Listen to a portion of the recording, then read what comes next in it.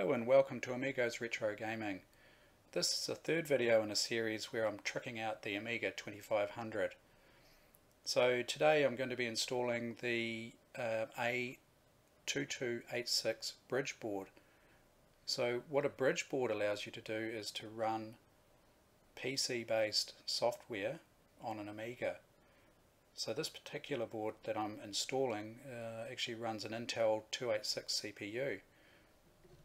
There are two slots that this card can be installed into on the Amiga 2500 um, and the 2000 as well. Uh, so it's a 16-bit card, so it needs to go into either one of these two 16-bit slots here.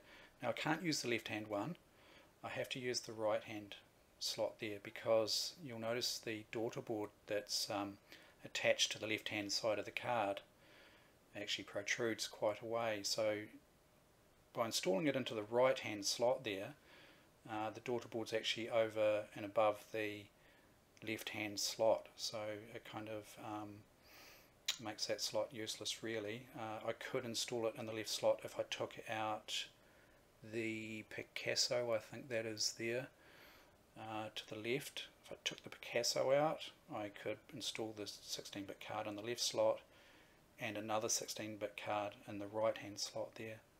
And you'll notice down the bottom right, those two spare slots, uh, they are 8-bit slots, so you could plug in 8-bit cards there.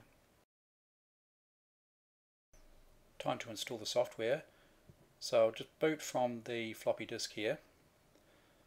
Uh, you can see it's Workbench 1.3 and um, time is completely out because the battery or oh, I think the battery's okay in this machine. I just haven't set the clock. Anyway I know the real-time clock on the uh, bridge board's definitely flat. It's a Dallas a real-time clock with built-in battery. Uh, there are ways you can fix them but I haven't uh, done that yet. So um, first thing is to check that the actual bridge board's running. You can do this um, fairly easily just by running the software directly from the floppy disk. And in fact, the the PC actually boots uh, in um, hardware. Actually, you know, as you boot the Amiga, uh, my understanding is that the PC is actually booting as well. So it sort of almost runs independently of the Amiga. Uh, so here we have like a BIOS screen. So I'm just uh, telling the bridge board what floppy disk drive I've got connected there. Okay, and it's just detecting memory, etc. Battery failure, that's uh, what I was talking about before with the Dallas real-time clock. Definitely seen better days. And we get the screen here, so basically um, I know just from testing this that that's the card is actually running. Um, the bridge board's actually running, so now's a good time to do the installation.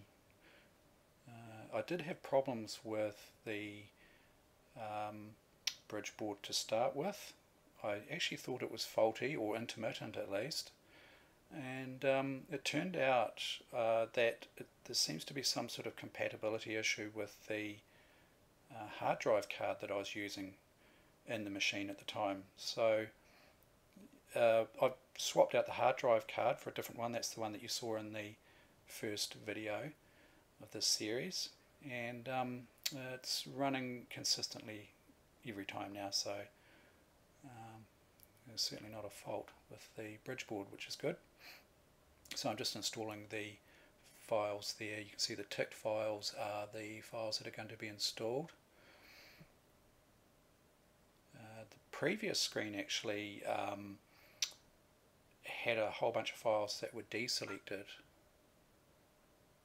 and that um, if you select those files what that does is if you're creating a bootable workbench disk with limited space as, uh, as we know the um, floppy disks only have 880k capacity. And um, so some files have to be deleted off the workbench disk to make room for the uh, PC install on a floppy but I don't have to worry about that because I'm installing it to a hard drive. So just doing some testing here. Yeah PC still running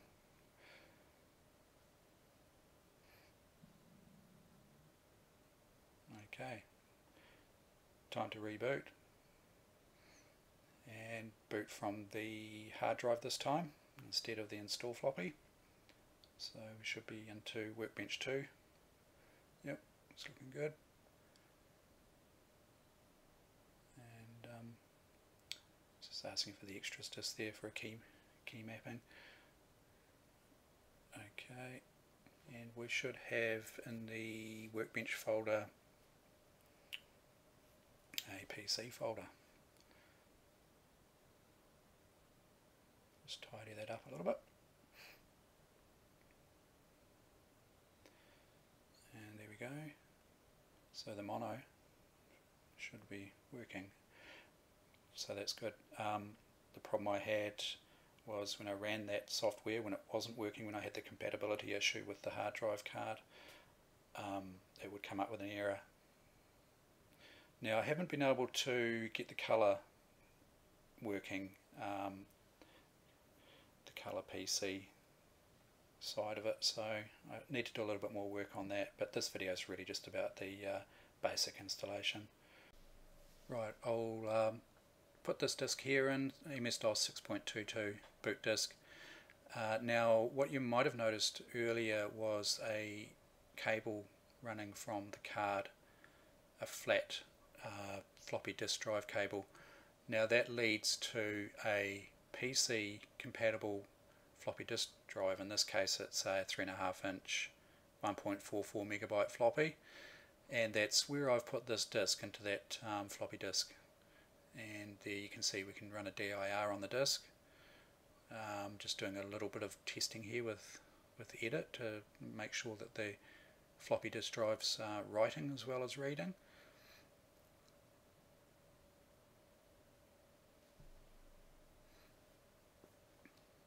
So the, the floppy disk will get mounted alongside, um, sorry, the, the floppy disk drive will get mounted alongside the uh, Amiga floppy disk.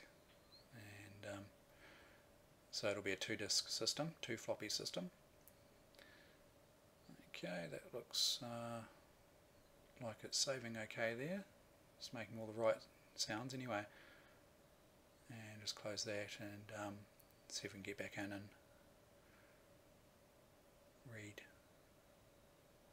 that test.txt. Okay, that's looking good there. So reading and writing to the floppy disk drive and um, yeah so that that's pretty much it it's fairly straightforward um, just a matter of slotting the card in obviously and uh, installing some software. So um, not a lot to it and I will go into more detail in a future um, episode there. So uh, yeah thanks very much for watching